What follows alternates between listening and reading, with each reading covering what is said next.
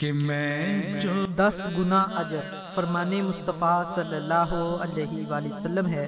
जो किसी मरीज़ की अयादत करे, अपने अहलो आयाल पर खर्च करे, या रास्ते से कोई तकलीफ़ दे चीज़ को दूर करे तो इसे दस गुना अजर मिलेगा।